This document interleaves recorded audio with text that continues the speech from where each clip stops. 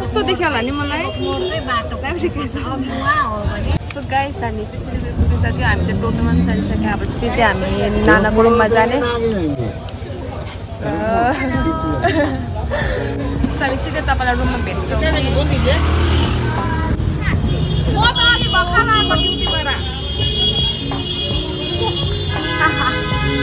राई फ्यामिलीमा आयो भन्न कति दिनमा भेट?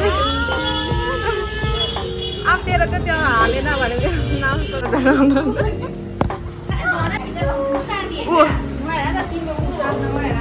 मेरो कहाँ गरेको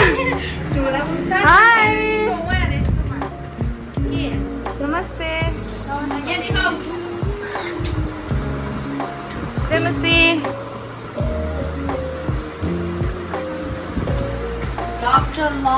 मेरो साथी Sadhana she also have a YouTube channel fam. Sadhana fam भनेर उसको युट्युब च्यानल छ तपाईँहरू सर्च गरेर सब्सक्राइब गरिदिनु बिर्सिनुहोस् होला मेरो हालत देख्नु सक्नुहुन्छ यस्तो भएको छ। सो फाइनली हामी रुममा पुगिसक्यो। मेरो हालत त्यस्तो छ उसको हालत हो अन्जु दिजे खोइ माम सो फाइनली सबैजना रुममा आइपुगेछ कञ्चनको हालत चाहिँ यस्तो भएछ ट्रेनमा आउँदा आउँदा। राम्रो भएछ तर। ल अहिलेको लागि स्टप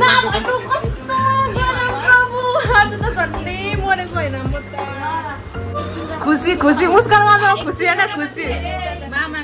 मुस्कान गर्नुको मामाको होइन।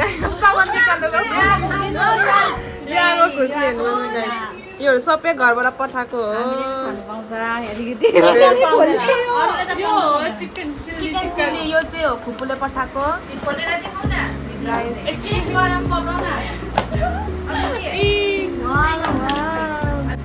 अरू के के छ? अरू अरू? डल्लै डल्लै छ हो।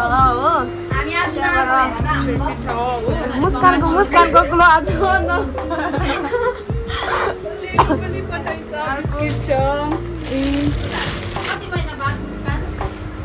एक महिना एम खोल्न Oh my god, Ryan. यहाँ साग साग है ए, और उसके बाद क्या है?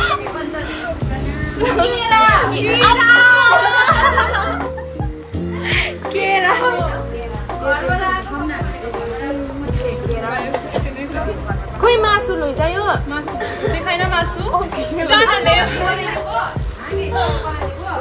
चार किलो लैजिसकेको छ गाई लु अब चाखेर बताउनु हो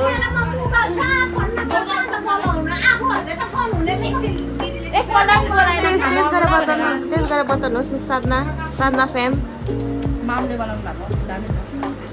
कति कति कति म समय बाद खानु भएको?